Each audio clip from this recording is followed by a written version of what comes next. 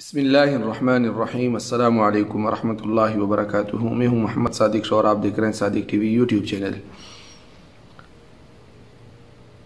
पिछली उम्मतें कैसे मुश्किलात को या अल्लाह के अज़ाब को समझ लेती थी और उससे बचने के कैसे वो हीले बनाते थे और कैसे वो उससे बच निकलते थे और अल्लाह के अज़ाब से बच जाते थे। इसी तरह का एक वाक़ है।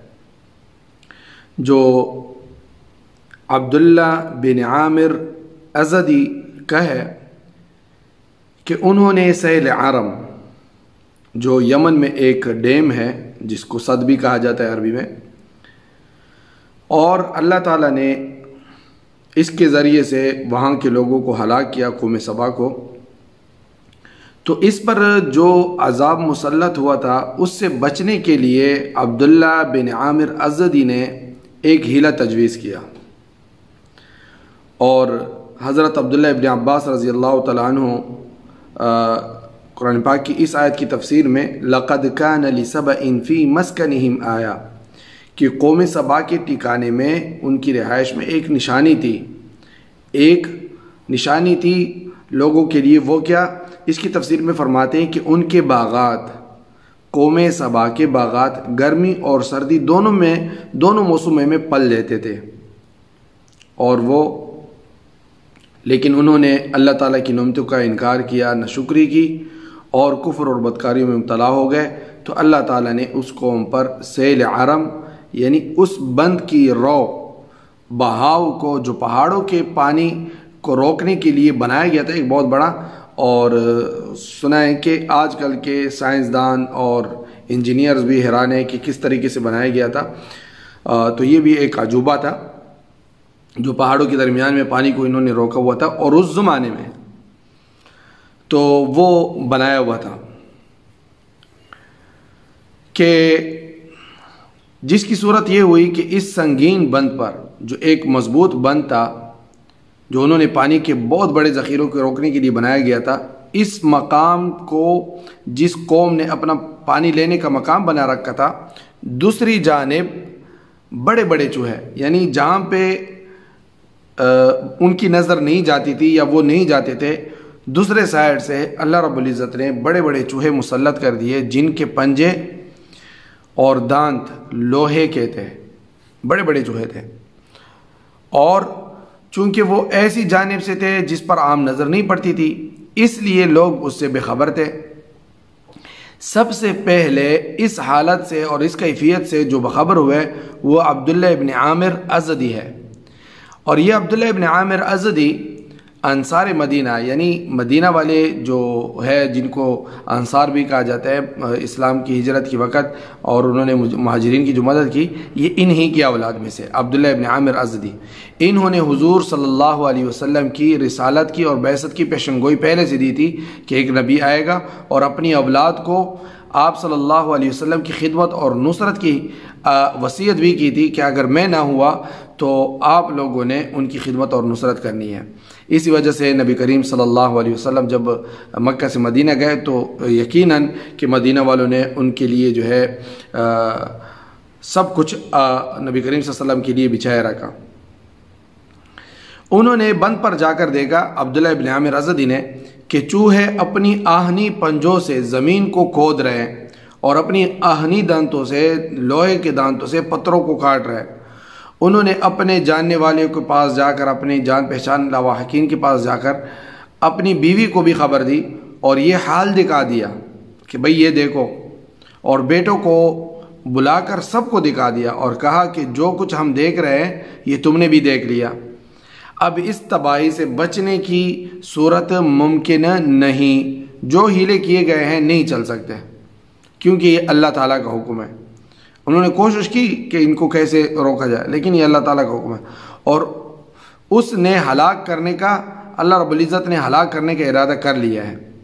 हाँ एक हीला ये किया गया कि बिल्लियों बिल्ली, बिल्लियों को लाकर छोड़ा गया कि वो चूहों को खाना शुरू कर दें। कि ये भी फना हो जाए और ये चूहें और भाग जाएँ। मगर हाल ये हुआ कि चूहे बिलियों की परवाह ही ना करते थे और अपने काम में लगे हुए थे। बिलियों ने जब इनको देखा तो वो डरकर भाग निकली। बिलियाँ ही भाग गई, बल्कि ये नहीं भागे। अब्दुल्ला ने अपने बेटे से कहा कि अब अपनी जानों को बचाने के लिए कोई हीला सोच लो। उन्होंने कहा कि आप ही बताएँ वालिद साहब से कहा कि आप ही बताएँ कि हम क्या हीला तैयार करें, इख्तियार करें। अब्दुल्ला इबन आमिर अजदी ने कहा कि मैं एक हीला निकालता हूँ। उन्होंने अपने सबसे छोटे बेटे को बुलाकर समझाया कि जब मैं मजलिस में बैठूं, बैठक में बैठूं, लोगों में, सरदारों में बैठूं, और वहाँ रोज़ाना का जो कौम के बड़ों का जो एक मामूल था, आकर जमा होते थे अब्दुल्ला इबन आमिर अजदी के पास और ये सबसे बड़े मुआज़ और रईस भी थे। इनसे दूसरे जो सरदार थे, वो हसद भी करते थे। और ये सब लोग जब आ जाएँ तो मैं सबसे छोटे बेटे को, जो मेरे सोच इन्होंने अपने बेटे को पहले से समझाया, हुक्म दूँगा, किसी बारे में हुक्म दूँगा कि भाई ये आप ये कर ले, चल बेटा, तू ये कर ले, ये ले आ, ये वो कर। तो बेटे को चाहिए कि वो मेरी बात का परवाह ही ना करें। मैं फिर उनको बुरा भला कहूँगा डांटूँगा तो फिर वो चाहे कि वो मेरे मुकाबले में आ जाए और फिर मेरे मुँह पे एक तमाचा भी मार दे।